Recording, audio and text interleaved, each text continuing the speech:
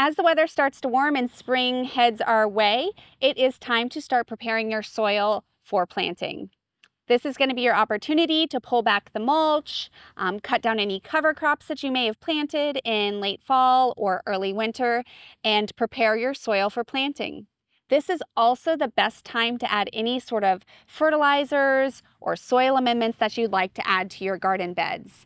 By putting it in now instead of later, the plants will have time to access it throughout the growing season. You're also going to start your transplants typically in a protected environment like indoors with grow lights or in a greenhouse.